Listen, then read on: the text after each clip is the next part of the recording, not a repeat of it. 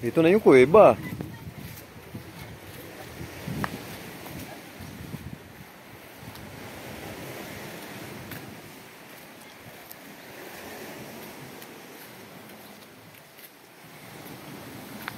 Ito yung kuweba, sinasabi. Uy, okay pala dito eh.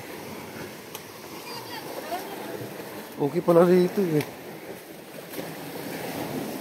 Hindi kaya tugo, Lloyd. Ha? Ano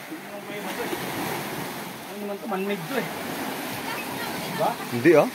Man-made, man-made to. Hindi man-made.